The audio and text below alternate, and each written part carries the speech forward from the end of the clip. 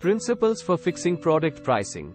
1. Profitability. Pricing should aim to generate profits for the company by ensuring that the selling price covers costs and provides a reasonable margin. 2. Value-based pricing. The price should reflect the value perceived by customers, considering the benefits, quality, features, and overall offering of the product. 3. Market demand. Pricing decisions should take into account the demand for the product in the target market. Higher demand may allow for a higher price, while lower demand may require a more competitive pricing strategy. 4. Competitive landscape. Understanding competitors' pricing strategies and positioning is crucial. Pricing should be competitive enough to attract customers while differentiating the product and justifying its value. 5. Cost considerations. Pricing decisions should factor in various costs, including production, materials, overheads, marketing, distribution, and desired profit margins. 6. Pricing objectives. Clearly defining pricing objectives, such as maximizing market share, maximizing profit, or penetrating a new market, helps guide pricing decisions. 7.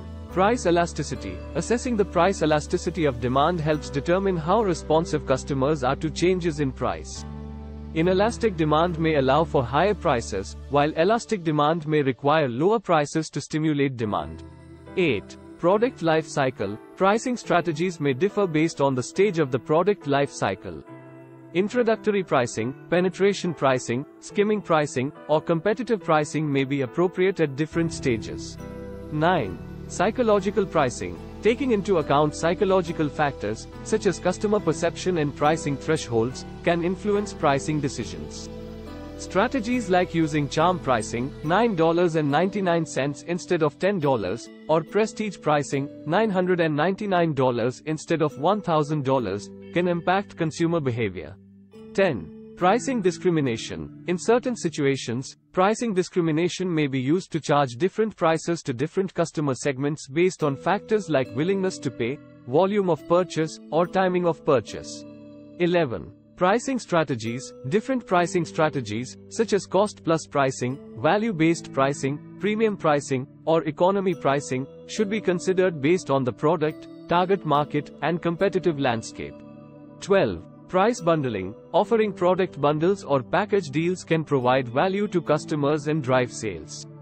Pricing strategies for bundles should consider the costs, perceived value, and customer preferences. 13. Pricing flexibility. Having pricing flexibility allows for adjusting prices based on market conditions, customer segments, or promotional activities. Dynamic pricing or promotional pricing can help maximize revenue and adapt to changing market dynamics. 14. Channel and distribution costs. Pricing decisions should consider the costs associated with various distribution channels. Different channels may have different cost structures, which can influence the final price. 15. Long-term pricing strategy. Pricing decisions should align with the long-term goals and positioning of the company. This includes considering pricing strategies for new product launches, maintaining price consistency, and managing price changes over time. By considering these guiding principles, businesses can make informed pricing decisions that align with their objectives, customer value, market dynamics, and profitability goals. It is essential to continuously monitor and evaluate pricing strategies to ensure they remain effective in the ever changing business environment.